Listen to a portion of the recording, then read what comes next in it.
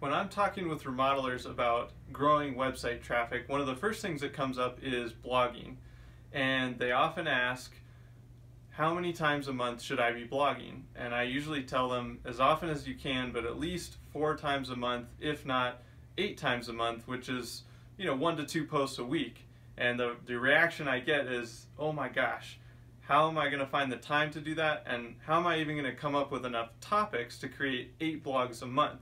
So today I want to give you a quick tip on how you can develop 50 blog topics in 10 minutes or less.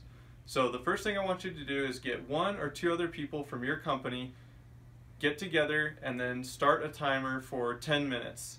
And I'm going to give you kind of a few ideas to get you rolling, but the, the easiest way to think about it is what questions do you get in the sales process? So how long is this going to take? What are the phases? What are the milestones that we go through for remodeling my kitchen?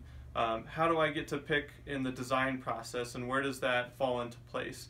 And then you can start thinking about all the other questions that you probably hear or people are searching for. So uh, design trends, what colors go best together, what's the best uh, cabinet style today, what are the different styles of homes, uh, and then you'll see that there's pretty much unlimited topics to talk about. So I want to challenge you today, grab one or two other people from your company, set a timer for 10 minutes and just start writing down everything that comes to mind. It could be um, topics, keywords, questions that you hear, uh, things related to your service, and see if you can get to 50.